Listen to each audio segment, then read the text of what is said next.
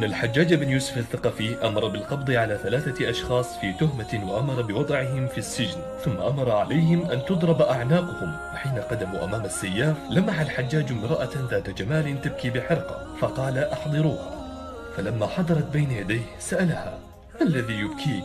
فأجابت هؤلاء الذين أمرت بضرب أعناقهم هم زوجي وشقيقي وابني فلذة كبدي فكيف لا أبكيهم؟ فقرر الحجاج أن يعفو عن أحدهم إكراما لها وقال لها تخيري أحدهم كي أعفو عنه وكان ظنه أن تختار ولدها.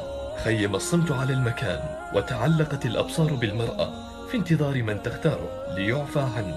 فصمتت ثم قالت أختار أخي. ففوجئ الحجاج من جوابها وسألها عن سر اختيارها لأخيها.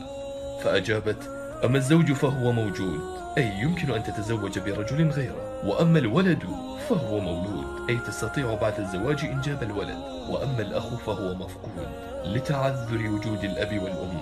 فذهب قولها مثالا وحكمة وأعجب الحجاج بحكمتها وفطنتها فقرر العفو عنهم جميعا.